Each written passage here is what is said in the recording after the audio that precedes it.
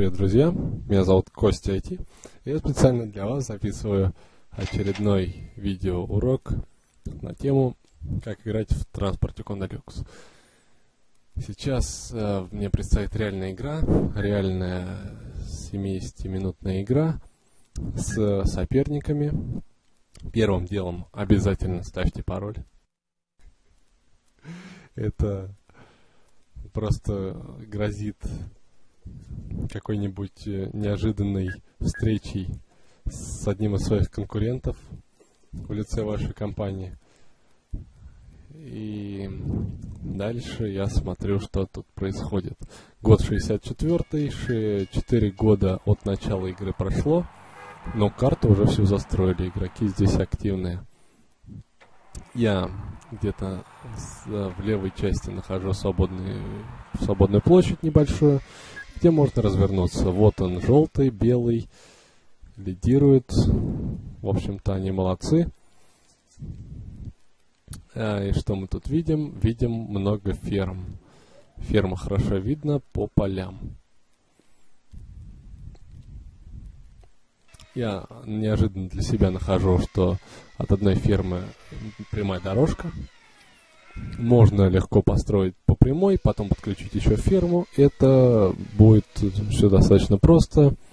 И за счет большого объема это все быстро окупится. Итак, 5 клеточек на вагоны. Смотрим. Ой, что-то не стыкуется. Надо достроить еще платформу. Достраиваем, потому что прямая дорога, она позволяет разогнаться составу и получать большие прибыли. Маленький экран. Я специально сделал маленьким, чтобы было видно на видеозаписи, ну, как можно больше, как можно четче все это дело. На самом деле, если экран больше, то строить дорогу гораздо проще. Я недолго думаю, строю платформу по прямой, чтобы составы ходили быстрее. Все-таки первый состав, он самый важный в некотором роде. Он позволяет вам взять такой старт. Чем лучше вы его создадите, тем быстрый, более быстрый старт. Потому что деньги заканчиваются, которые можно занять, а взять их потом неоткуда. Если не будет прибыли с первого состава, то это все надолго может затянуться. Ваш э, взлет. Светофоры я оставлю обязательно. Выбираю сразу новый тип. Ну, он никаких недостатков, в общем-то, в себе не сулит, если составов не очень много. Ну, для меня это как раз подходит. На данный момент самый быстрый это флос. Ну, пусть будет он. Электрифицированные дороги еще не выпустили.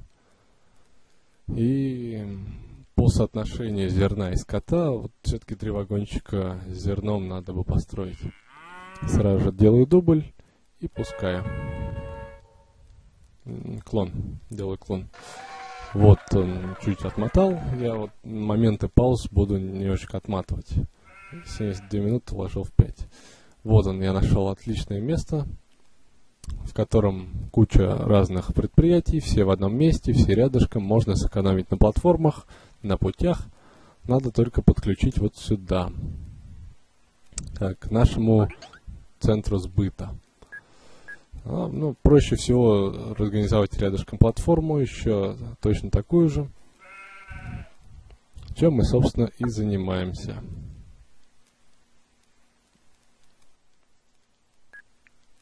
Я подгоняю так, чтобы платформа охватывала все предприятия.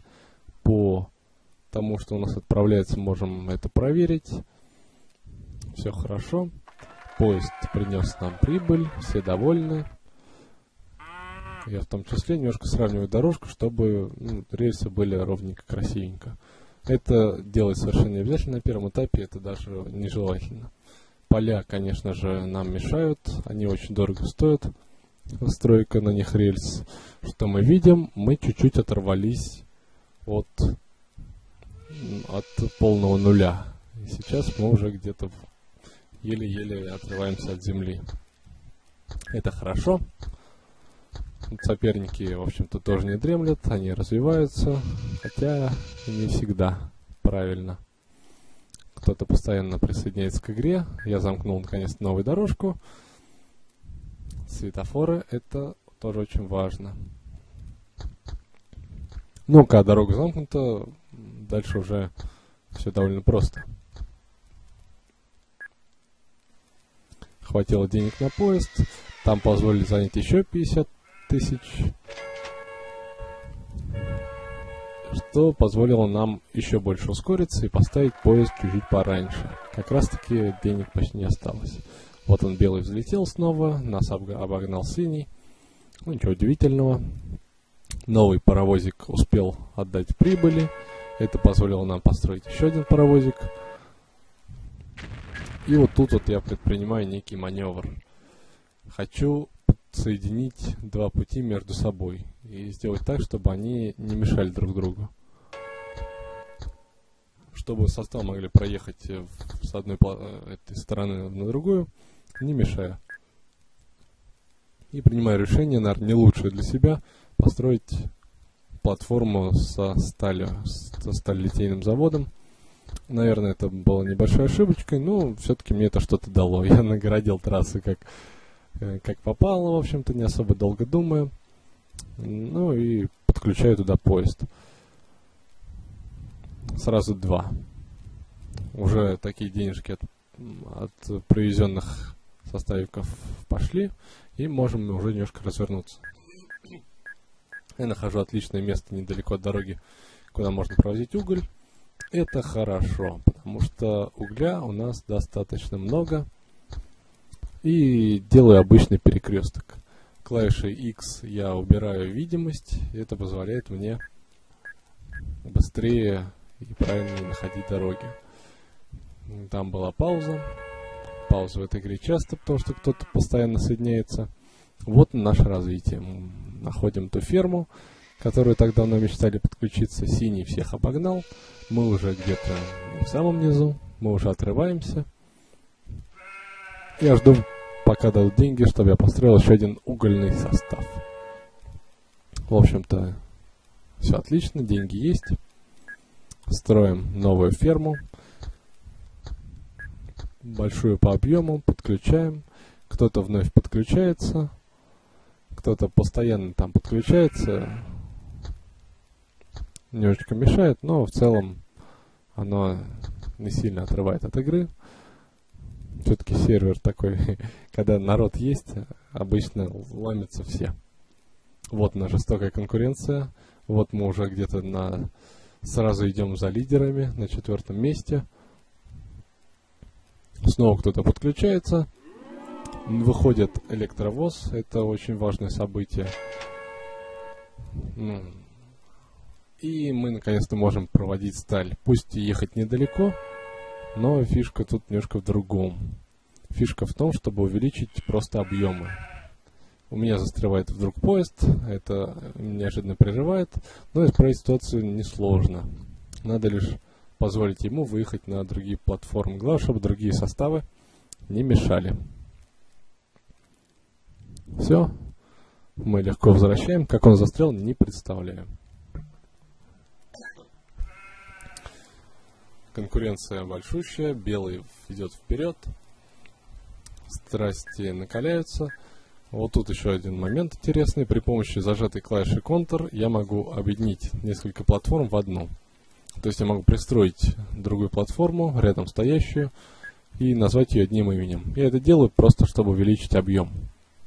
Подключаю все фермы, что есть в округе. Пусть они не самые прибыльные, пусть они там не очень выгодно, но за счет того объема, который им будут привозить, это мне впоследствии сыграет хорошую роль. Вдруг я замечаю, что некто фиолетовый раз в пять всех обогнал. Это очень такой момент. Вот у него составик едет. Я не представляю, как он зарабатывал сразу такие деньги. Даже не стал разбираться просто построил для себя точку, куда можно отвозить товары. А товаров у нас довольно-таки много, потому что мы все сгружаем на одну платформу. И у нас есть два пути, которые мы подстраховали заранее. Вот примерно по прямой, по очень хорошей прямой дорожке все у нас пойдет. Вот момент сравнять был не очень удачным, потому что это впоследствии не пригодилось. Ну, дорога строится, дело движется, деньги уже есть, можно не особо экономить, прибыли большие, но и не стоит э, транжириться. Вот тут какой-то глюк я заметил, баг. Вдруг сверху дома в городе взлетели, не знаю, как это произошло. Видимо, я сменил динамит на понижение земли. Ставлю старый тип светофоров. Наверное, это небольшая ошибка. Новый все-таки немножко эффективнее, но... И, собственно, перевозки начинаются. Сразу строю два состава. И вы увидите, сколько сейчас, э, как за один момент просто увеличить свою прибыль раза в два или в три. Ничего, ну, не особо заморачиваясь, просто копируй составы. Сейчас вот мы наблюдаем за фиолетовым, он все еще наверху, он молодец. Вот на поезд, на платформу приехало два состава, и там товаров больше, чем нужно 500. Просто вот за одну секунду. Поезда просто не успевают справляться. Надо делать еще отгрузки. Ну, сейчас более-менее справились. Скоро, правда, поедут еще сгружаться. Что мы видим на графиках? Мы уже на втором месте примерно. Мы где-то конкурируем со всеми. Тут э, небольшое решение. Я заменяю все, все дороги на электрифицированные рельсы. Это позволит построить электровозы, которые вышли. Они не быстрее, они просто мощнее, быстрее разгоняются, ну и тоже позволяет увеличить прибыль. Вот я делаю автозамену, очень полезная вещь, позволяет не париться с заменой составов. Что мы видим на прибыли? Мы уже догоняем фиолетового. Вот он как увеличил прибыль. Он построил самолеты.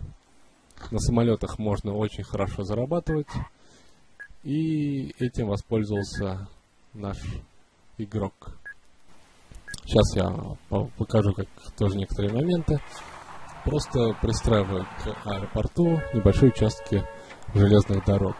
Это позволяет охватить весь город и не тратиться на снесение города, на его разрушение.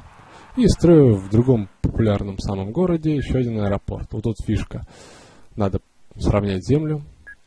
Я равняю. И городские власти говорят нельзя.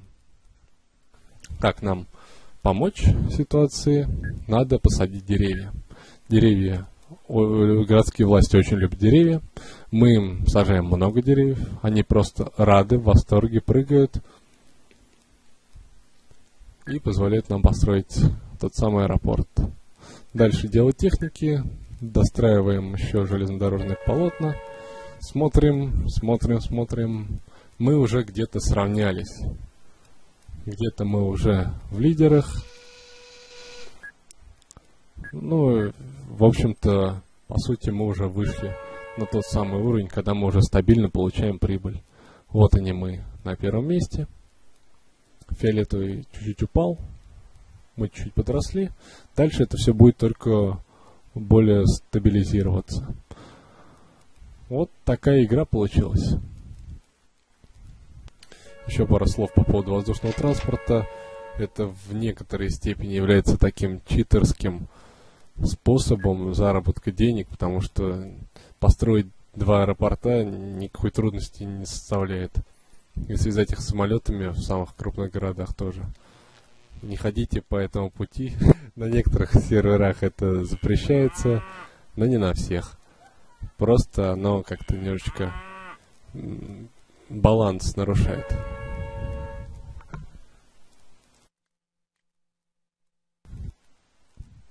Можно было развиваться дальше, но для первого ввода этого достаточно. Спасибо вам за внимание. Специально для goodgamedatabase.ru